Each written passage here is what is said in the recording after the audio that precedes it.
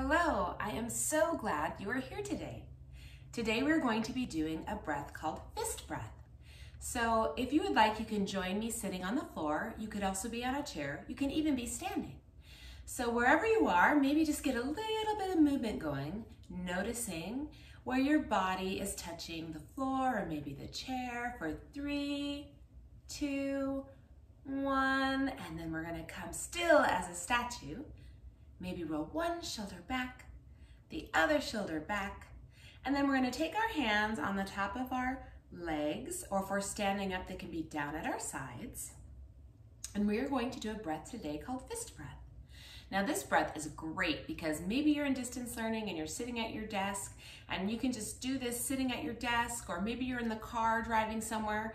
This is a great breath to do almost anywhere you are at.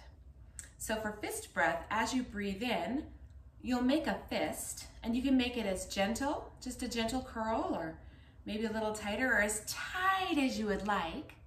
And then as you breathe out, you're going to open your hands. So we're gonna do five fist breaths just like that. So as you breathe in, make a fist. As you breathe out,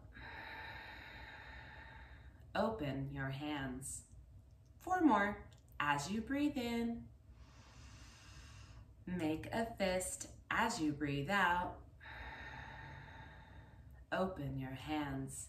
Three more. As you breathe in, make a fist. As you breathe out, open your hands. Two more. As you breathe in, make a fist. As you breathe out, open your hands. Last fist breath. As you breathe in, make a fist. As you breathe out, open your hands. And you might want to shake out one hand and then shake out the other hand.